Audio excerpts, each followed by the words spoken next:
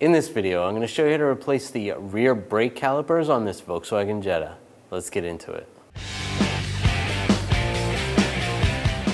I'm going to remove the wheel, use a 17 millimeter socket, take the lug bolts out.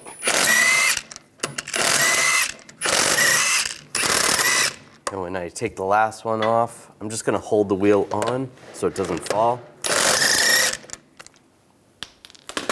And grab the wheel and slide it off. We're to take this cable off, use a 13 millimeter socket, just rotate this just like that. You can just pry this to the side. You can use a pry bar or even a screwdriver. Just pop that off.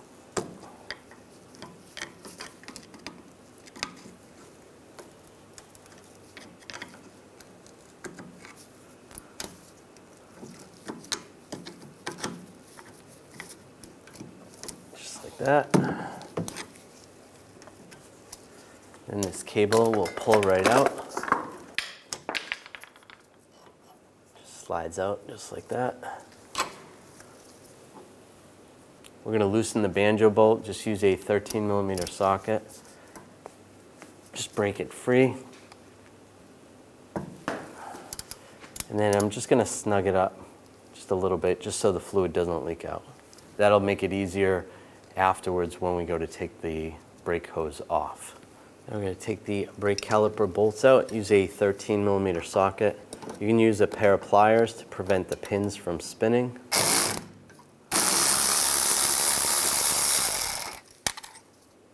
Take those out.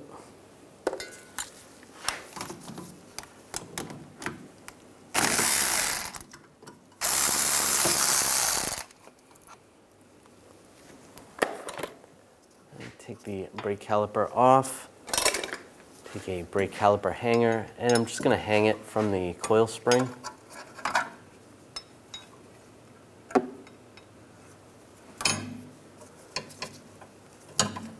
Just like that. Just make sure there's no tension on this brake hose right here. We can take the brake pads off, slide those off. Now I'm going to take the caliper brackets out. I'm going to use an 8 millimeter hex socket. Take those two bolts out. I just moved the caliper over the top of the rotor.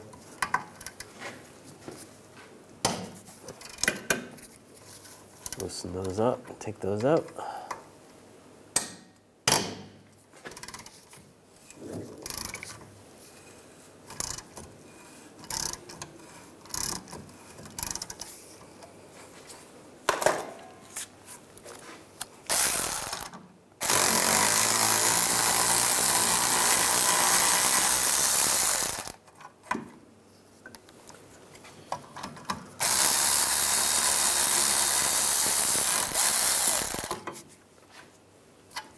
And slide the bracket off. We're going to take the bracket off the caliper. I'm just going to use some pliers to hold the pins. Pull the bolts out. Use a 13 millimeter socket.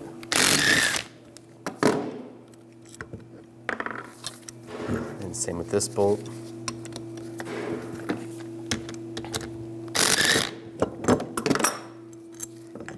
the caliper is separated from the bracket on the bracket, I'm just going to put a thin coat of silicone grease or silicone paste just on those ears right there. We take the anti-rattle clips or the pad clips, line those up, just push those on. And that's good. You can check the pins, just make sure there's grease in them. Just pop these off.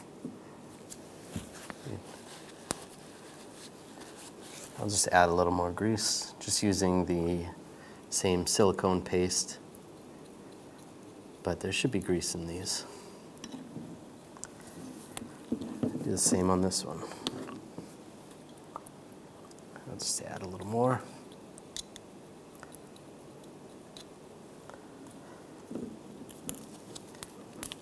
And just make sure that seals up properly. And now we can install this on the car. Slide the bracket over the rotor. Take the bolts, get the bolts started.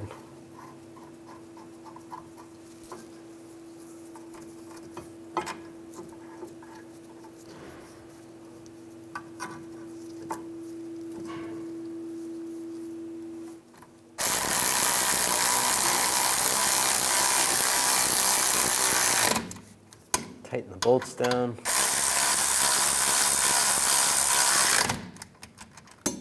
And torque the bolts to 48 foot-pounds.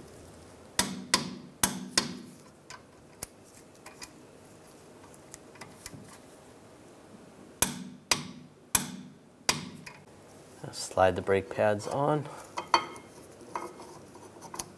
Just like that.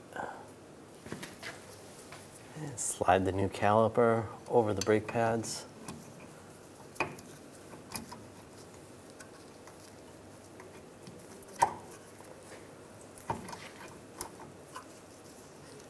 Bolts, get those started.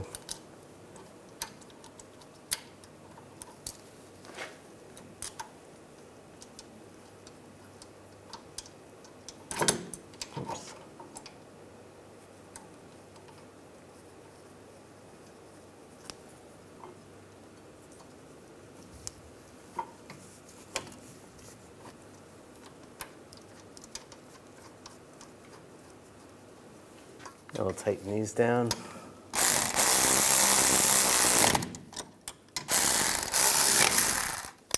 Torque these to 26 foot-pounds.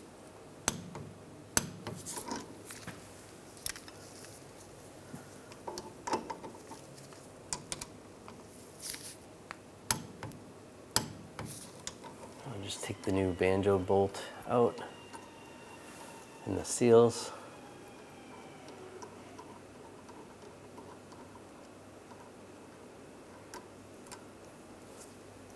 I'm going to put one seal on the bolt like that.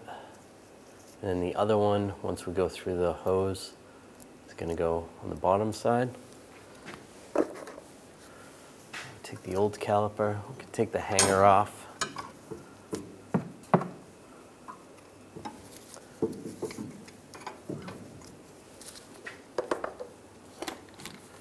Now with the drain bucket underneath, we're going to take this bolt out.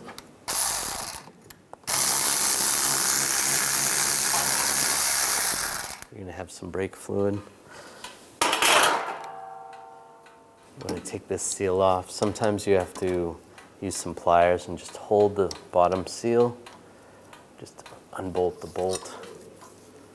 You want to make sure the master cylinder has plenty of fluid in it as well so you don't drain it all out. So check that before you do this. I'm just to cut this one off just with some side cutters. Take that seal off. Take that bolt out. Make sure this is clean. Looks good. It's to go right there. Put that washer on or seal at the top. Go through and then you got to seal at the bottom. Get this lined up. Get that bolt started in the caliper, the banjo bolt.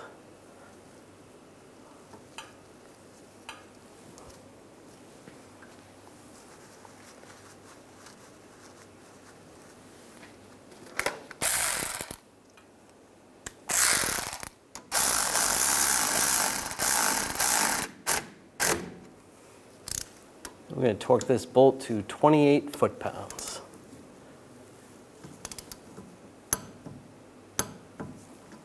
Slide this through the caliper.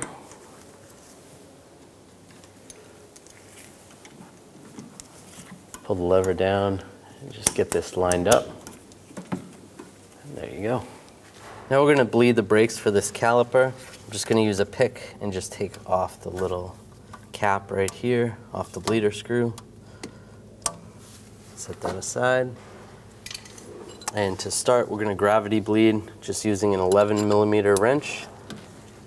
Open up the bleeder just with a drain pan underneath and making sure the fluid is full under the hood, the brake fluid in the master cylinder reservoir, and we'll let that bleed out.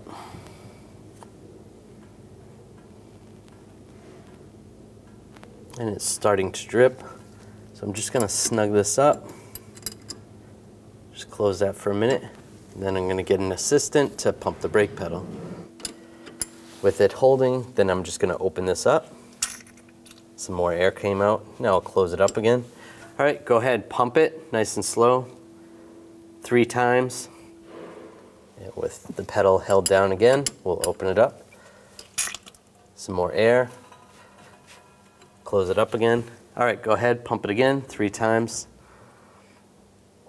And holding, open it up again. And nice clean stream.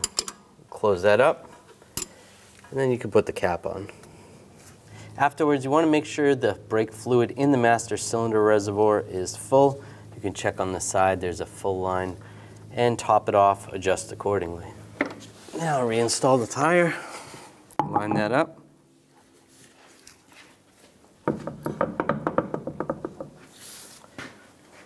The lug bolts, get those all started.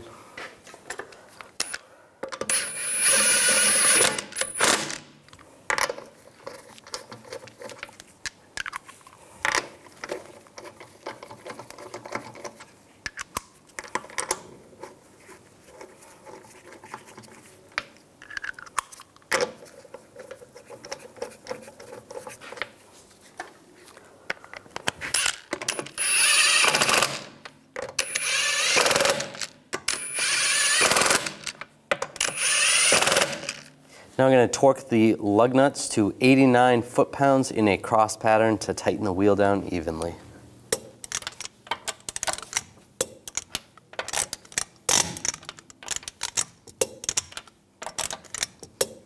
And just go around again, double check.